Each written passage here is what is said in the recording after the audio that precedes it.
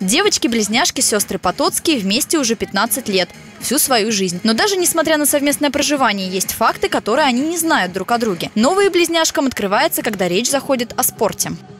Футбол смотрели. Ну, иногда смотрим. Потом иногда хоккей. Да.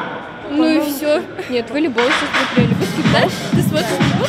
Игры сегодня девчата вспоминают не случайно. В торговом центре «Я» им удалось повстречать спортивных звезд и даже сфотографироваться с ними. Правда, общение получилось не реальное, а виртуальное. Компания «Транстелеком», федеральный оператор связи, привезла в Кемерово необычную инсталляцию. Интерактивная площадка оборудована специальным светодиодным экраном, на который в режиме реального времени выводится ваше видео. А на видео уже накладывается 3D-изображение.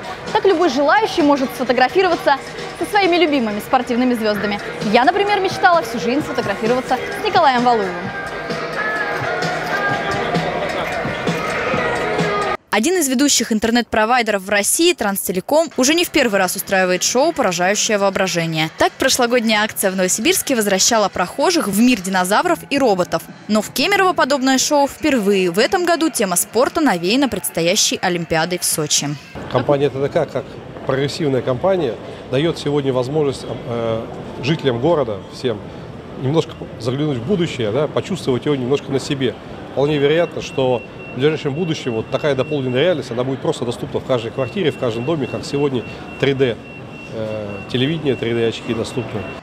Сами организаторы признаются, покупатель уже давно не верит обычной рекламе. Чтобы его завлечь, нужно на деле показать, на что способна компания. Шоу «Виртуальная аллея звезд» в Кемерове пробудет все выходные. Всего же до конца осени спортсмены посетят 54 города России. Евгения Дугаева, Константин Червяков. Новости моего города.